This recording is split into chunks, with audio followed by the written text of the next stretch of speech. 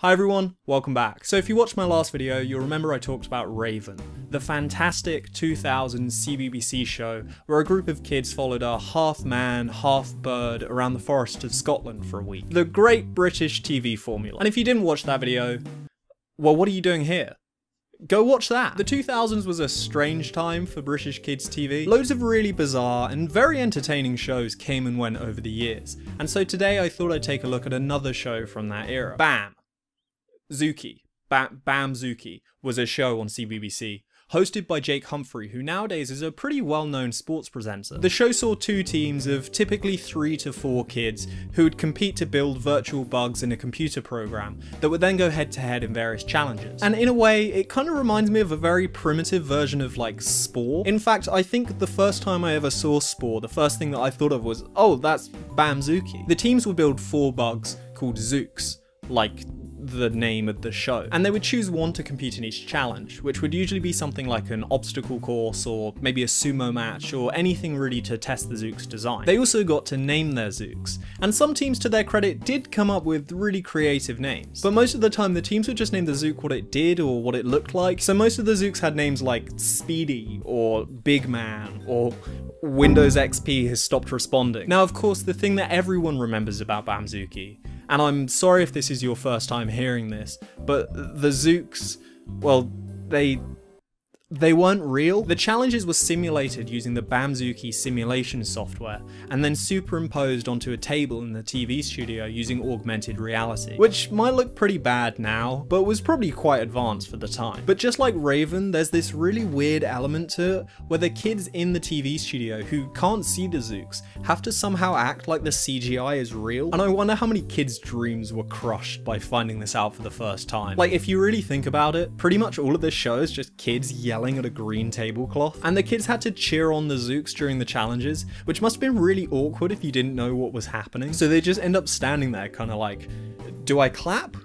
Do I cheer? Are, are, we even winning? What's what's going on? So a whole part of Bamzooki is that the Zooks are designed before coming on the show. And the teams have had to make Zooks that are not only able to move around properly, but also well suited to any potential challenge they might face. So you might have one Zook that's really fast and one Zook that's really strong and stuff like that. And with this being a team-based competition, there's a lot of emphasis on the kids collaborating with each other to come up with good designs. But in all the episodes I've seen, I've always got the impression that there's like one or maybe a couple of kids in the team that are really into it, and then there's always the one friend who's kind of just there. You know, he's he's helping, I mean, he's more of an ideas guy, so like on this team they've got Joseph, the designer. He conceptualizes the Zooks and then puts them into action. Then you've got Daniel, the animator, who makes sure that all the parts are moving in the right direction. Then there's Franco, the tester. He puts the Zooks through their paces and helps the team fine tune the details.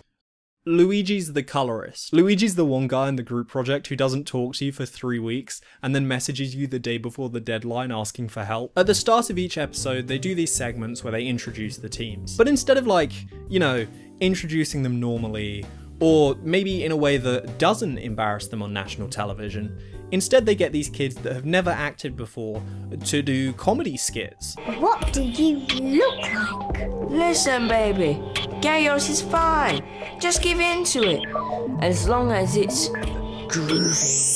Yeah, I'm suddenly not comfortable with this anymore. At least with Raven, there weren't very many embarrassing things they made the contestants do. Like, it was all pretty cool for the most part, but I feel like if I ever went on Bamzooki, I wouldn't want anyone to ever find out. There are so, so many more of these, but almost all of them have copyrighted music, so you're just gonna have to take my word for it. After the team's introductions, we then get shown the four Zooks that the teams have had to design and name. Now looking at the Zooks, I mean, Deca Sprint has got such fast feet. How quick is that Zook?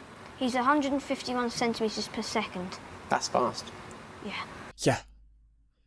Yeah, he's fast. Each episode has four challenges, and for them you have to get together as a team and decide which Zook you're going to pick. And then that Zook gets locked out and you can't use them for the rest of the episode. I feel like the producers of the show always imagine that there'll be way more strategy than there actually is when it comes to picking your Zooks. Like they thought you had to weigh up the pros and cons of every Zook and keep your options open because you might not be able to use it later. But in reality, the choices the kids make are really basic. You essentially just pick the big Zook or the fast Zook. Okay teams, our next challenge is a sumo match. So go and look very carefully at your Zooks and decide which one you want to pick. We pick Big Man. Oh, um, okay. Uh, are you sure about that? Think about this one. It's a tough choice. No, we pick Big Man. Uh, yeah, okay, sure. Um, so why did you guys pick Big Man? Because he's big. I love how the presenter is also trying so hard to get the kids to talk to him in like these post-match interviews, but they just do not care. Do you know what? Spear Flipper was a big, chunky Zook, but not quite big and chunky enough. But Freddo, what a performance! Was that the kind of thing you're expecting, Daniel? Yeah. Good.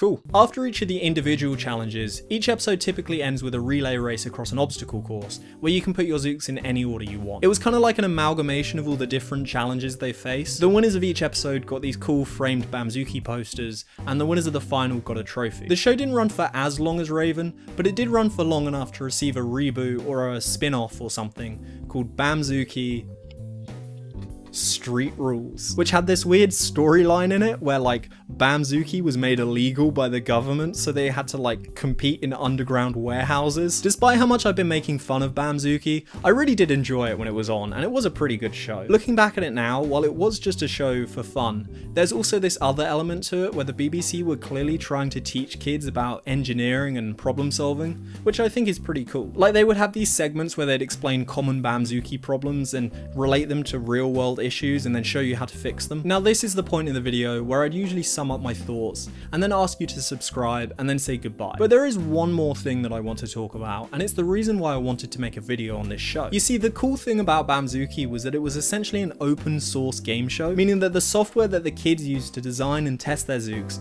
was available online on the CBBC website. And you could download that software, make your own Zook and then put it up on the website and they had things like Zook League tables and galleries and all this cool stuff. Now sadly, Bamzooki ended for good in 2010, meaning that no matter how much I want one, I'll never be able to get a framed Bamzooki poster from Jake Humphrey. And when I was researching for this video, I also found that the download page for the Bamzooki software is no longer available. So unfortunately, it seems like my Bamzooki journey ends here in less. What if I were to tell you that there's a place that you can not only download the original Bamzooki software, but you can run it in full HD on Windows 10? A place only accessible to the most elite minds and Bamzooki experts.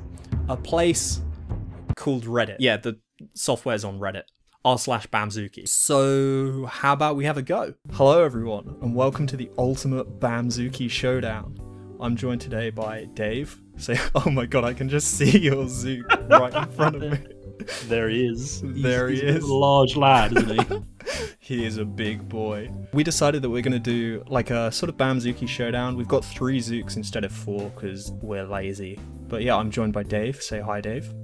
Hi there. So on my team today, we have Rainbow Man. He's a he's a multicolored Zook. He's got four legs. He's got a little head. I gave him some eyes. What do you think about Rainbow Man? I think Rainbow Man's uh, very ergonomic design, uh, all fours Kriggers, truly makes him a, a formidable Zook. Okay, now what do you really think about Rainbow Man? I think he he he looks terrible. Okay, and then my second Zook, we have Ah. yeah, the Toy Story yeah, baby. this is the baby from Toy Story. okay, oh, and then we have Homer. his name is Homer. I really like the hair.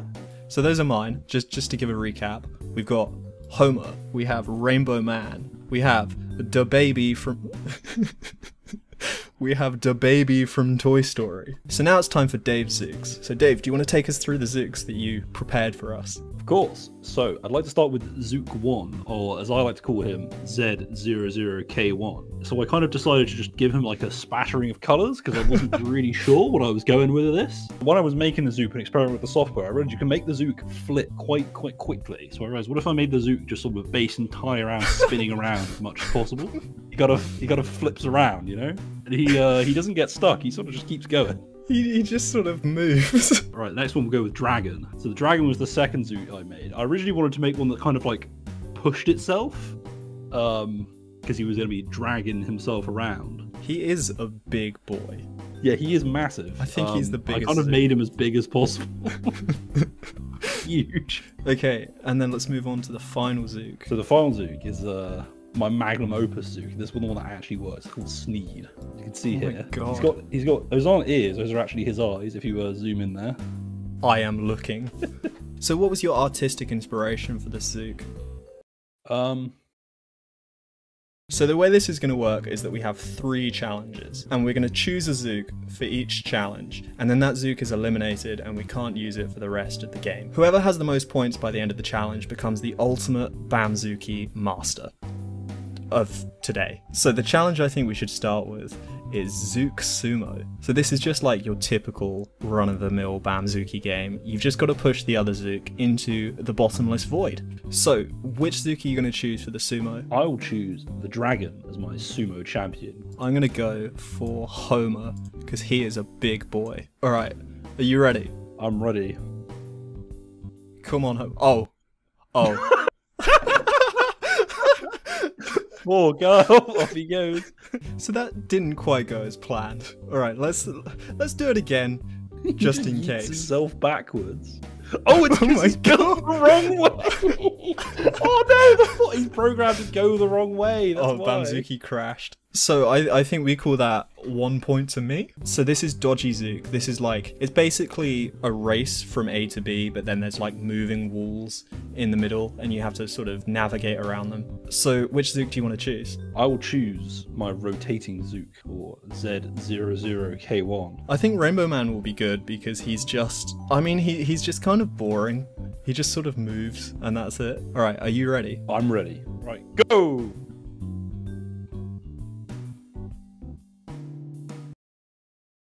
And they're both upside down. Oh, he, he just got Back flipped. up! He could do it. Oh, your one's on the floor. I think it's Oh, safe to say, Dave, that uh, your one's not going to win this challenge. I think the only hope for your Zook is that my one also can't finish. What? Oh my god! it just got flipped in the air. Call it a draw? Alright, so this brings up the final challenge. Um, so your last one is Sneed, isn't it? Yes. And then my last one is the baby from Toy Story. So this is Zook Hurdles. This is the final challenge. Come on, the baby. Your one's actually made it through. My one just got my stuck. goodness. Oh no, my one's upside down. That baby has been The defeated. baby. You could have done so Sneed much. go. Sneed is actually a really good Zook. Oh, Is he oh, gonna make it? Oh! Come on, Sneed. Come on, you can make it. No, come on, buddy. Is he just. Oh, there he is. Yeah. He's actually getting it through. I think he's gonna do it, unless he goes off the side here by being. He might. Oh no, that thing's gonna be a problem. I think it's actually knocked him in the right direction. He's done That's it. He's done it. That's actually an effective Zook. Your Zook has actually won a challenge. True masterpiece. You... I like how we're just in complete shock that one of our Zooks actually made it through a challenge. That's quite a good Zook. I wasn't expecting him to work as well as he does, but he's actually not bad, is he? I think basically we found that I won by like one point or something. Yeah. I can't remember. I think you won by one point. Yeah, I mean, I basically stopped counting, so how about we call it a draw? Let's just say it was an overall draw. That's fine. Let's just say it was a draw. Fine. So who gets the framed Bamzooki poster? Shit. Um, why don't we cut it in half? Yeah, I'll take one half. I'll, I'll take the left half. No, no, no. I'll take right the front half. You take the back half. you, you just get the poster and I get the frame. Seems fair to me, bro. It's a nice frame. We are really bad at live commentary. It's, It's so- god awful. Alright, so that was it for the Bamzooki contest. Nobody really won. We sort of just stopped caring halfway through.